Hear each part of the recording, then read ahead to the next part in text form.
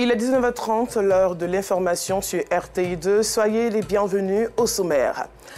Un autre crime odieux plonge le corps enseignant dans l'Imois suite au meurtre d'une institutrice et de son fils à Bantongouin.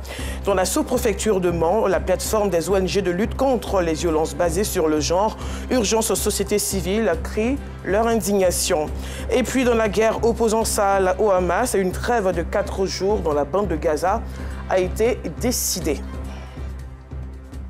Une fois de plus, soyez les bienvenus. Depuis les semaines, il est observé une pénurie de sucre sur le marché. Le sucre est donc devenu une denrée rare dans les rayons des supermarchés, de même que sur les étals des marchés traditionnels. Cette pénurie se ressent dans toutes les communes de la capitale économique, voire environnante. Pourquoi cette pénurie de sucre? Des éléments de réponse dans ce reportage signé Clarisse Cagnala. Le prix du sucre a flambé ces derniers jours. Le sac de 50 kg est passé de 35 000 francs à près de 60 000 francs CFA, soit le kilogramme à 1250 francs CFA. La raison Le pays traverse une pénurie de sucre depuis mi-octobre. La mine, tenancière d'une boutique située à l'alocodrome des Cocody, n'en vend plus depuis quelques semaines, malgré la forte demande de sa clientèle. Je gagne plus de sucre au marché. Si on gagne aussi, c'est cher, on ne peut plus vendre en détail. Parce que le prix que l'État a donné, nous, on trouve ça plus que ça au marché. Donc maintenant, c'est mieux de... On ne peut pas vendre, c'est mieux d'arrêter, on a laissé. Athanase est à la recherche de sucre une denrée indispensable pour son petit déjeuner. Ce matin, il visite le quatrième supermarché pour en trouver. Hélas, les rayons réservés au sucre dans cette surface située au grand marché d'Agamé sont vides depuis bientôt un mois. Il n'y a pas de sucre. Quand vous en trouvez aussi, un kilo 1400 1500, donc c'est un peu compliqué parce que le sucre est pratiquement indispensable à cause des enfants. Tout ce qu'on veut faire, la bouillie, le café, le poiquet, enfin un peu de tout quoi, on a besoin du sucre. Et malheureusement, on ne nous donne pas d'idée et ça limite même euh, les options de petit déjeuner. Depuis le début du mois, ce grossiste n'arrive plus à satisfaire le quart de sa clientèle. Sur 200 sacs de sucre commandés depuis plusieurs semaines, il n'a reçu que 20 sacs. On va voir des clients qui viennent acheter chez nous. Par exemple, il a fait un achat de 5 000 francs. on lui donne un paquet de 1 kg. S'il fait 10 000, on lui donne deux paquets. C'est comme ça, pas de carton et pas de sac actuellement. La pénurie du sucre a fini par impacter les petits commerces dans les quartiers. Fatou, vendeuse de galettes et de bouillies de mille, a fini par abandonner son activité ces quelques kilogrammes de sucre qu'elle a pu obtenir sont insuffisants. Vraiment, c'est difficile parce qu'on ne sait pas quoi faire. le sucre est trop cher. Tu vas jamais, tu ne peux pas payer le sucre. Vous-même, vous voyez, on ne peut pas faire grand-chose avec ça parce que c'est trop petit. Pourtant, le pays dispose de deux sociétés sucrières. Ces sociétés comptent trois usines de fabrication du sucre.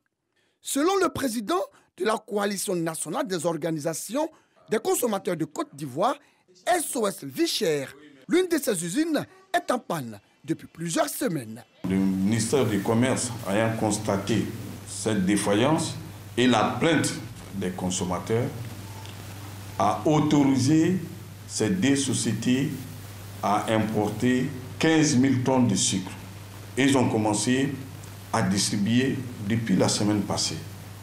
Mais le vrai problème, c'est qu'il y a la rétention du sucre sur le marché. Cela est très clair. Pour comprendre cette rétention, nous nous sommes rendus dans l'une des sociétés sucrières.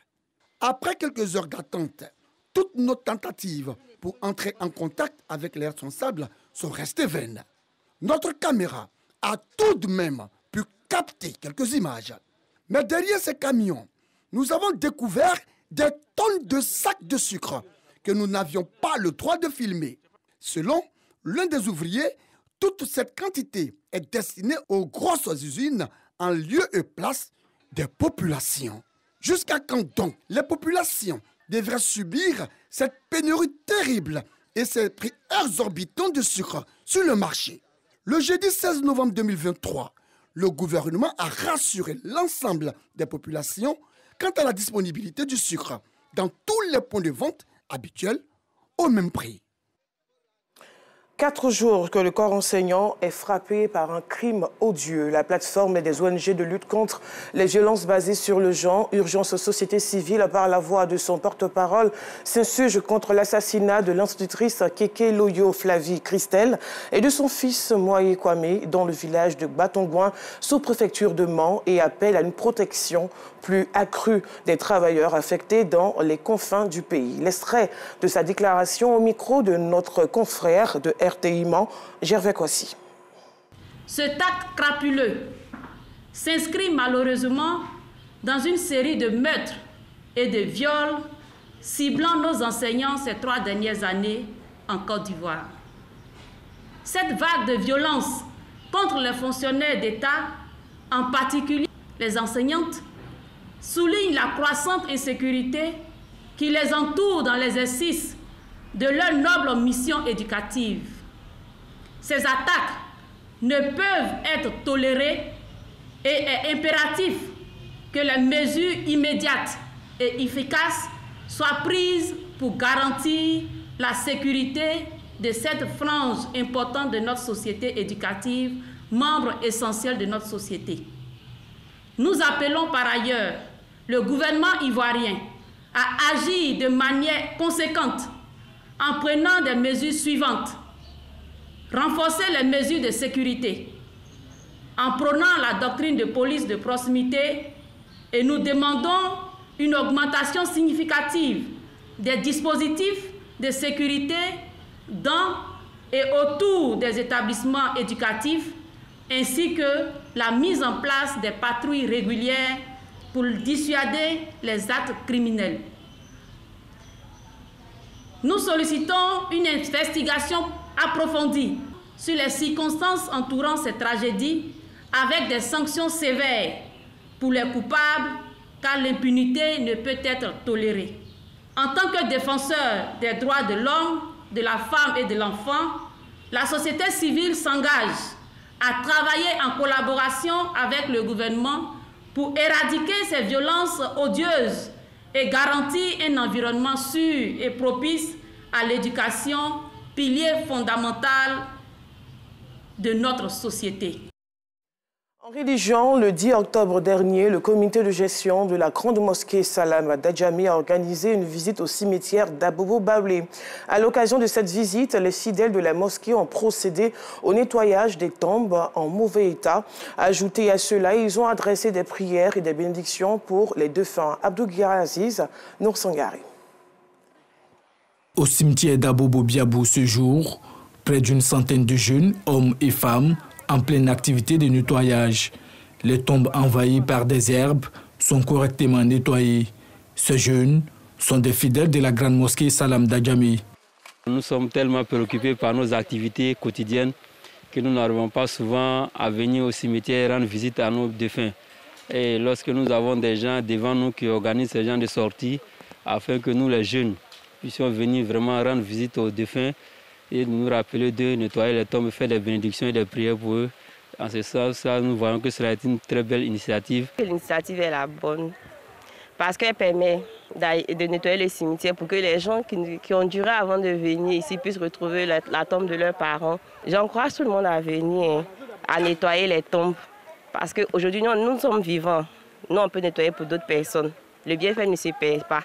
Demain, même si nos parents nous, nous ont oubliés, d'autres personnes peuvent nettoyer nos tombes aussi. Cette visite au cimetière, une initiative du comité de gestion de la grande mosquée Salam Dajami qui dure maintenant 19 ans. À travers cette activité, les responsables de la mosquée espèrent sensibiliser les fidèles musulmans à la culture de l'humilité et les inciter à entreprendre de bonnes actions sur terre. Que si je dois faire un appel, c'est de dire à nos semblables qui sont avec nous en ville là-bas, dans nos bureaux, dans nos familles, dans nos foyers, de se soigner le cœur. Et quand tu te retrouves au cimetière ici, à tout moment, de temps en temps, rendre visite aux morts, tu vas savoir qu'à partir d'ici là, tout ce qu'on a est éphémère.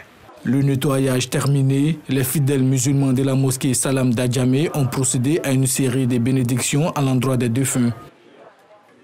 La troupe artistique Luciole Inter et le réseau des acteurs du spectacle vivant d'Abobo Razva a organisé la septième édition du Festival international d'humour, de clowns et de contes pour enfants dénommé Mon sac à dos.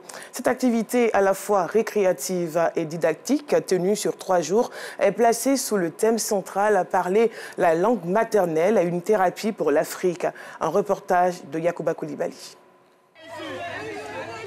Joindre l'utile à l'agréable à travers un festival qui promeut et valorise la culture traditionnelle africaine et artistique dans toute sa diversité. C'est le but recherché par les organisateurs du Festival international d'humour, de clowns et de contes pour enfants dénommé Monsakado. Ce rendez-vous qui était à sa septième édition a pour thème Parler la langue maternelle, une thérapie pour l'Afrique. Nous, artistes d'Abobo, avons décidé d'initier ce festival-là. Permettre à nos enfants qui n'ont pas les moyens de se divertir chez eux à la maison. Nous avons constaté que nous sommes en train de perdre nos origines. Voilà pourquoi cette année, on parle la langue maternelle, mais en sensibilisant sur l'environnement. Quand l'enfant sort, il vient de dehors, il ne se lave même pas les mains, il arrive, tac, il ouvre le robinet ou bien il ouvre le réfrigérateur, il prend l'eau et il commence à boire. Soit quand il finit de se laver aussi la douche, il s'en fout. Hein. Euh, la, mousse de savon traîne là, c'est pas son problème. Cette rencontre annuelle a enregistré la participation de nombreux talents artistiques de la Côte d'Ivoire, du Cameroun, du Sénégal, du Togo, du Burkina Faso et de la Hollande. Ces derniers ont accepté de partager leur savoir-faire au tout petit. Donner des opportunités d'avoir une expérience euh, d'éducation et aussi philosophie. J'espère que les enfants vont aussi vraiment aimer penser. J'ai vu qu'il y avait plein d'enfants qui étaient passionnés par l'art. C'était vraiment bien de passer de bons moments avec eux. Je crois que la base, déjà, c'est déjà bien. Je suis contente d'être à ce festival parce que nous avons appris à dessiner, nous avons appris des contes, on nous a montré les bonnes manières. Le festival Moussakado était placé sous l'égide du ministère de la Culture de la Francophonie. Le coparrainage artistique a été assuré par Rokiatou Ampatiba, directrice de la fondation Amadou Ampatiba et Obemon Fei, chanteur, musicien ivoirien. Cette rencontre était aussi l'occasion de débattre de l'entrepreneuriat culturel. Aria Dentaire d'Arabie Saoudite, un site attire habitants, visiteurs et touristes. Il s'agit de la World City. Sur cette place attractive, on y trouve des jeux ludiques et pédagogiques. Ce sont un peu plus de 2000 visiteurs de différents pays du monde qui y vont pour satisfaire leur curiosité. Rendons-nous à la découverte de la World City avec notre envoyé spécial en Arabie Saoudite, connu par Gassoro de Madongui. La tour Eiffel, ne vous méprenez pas.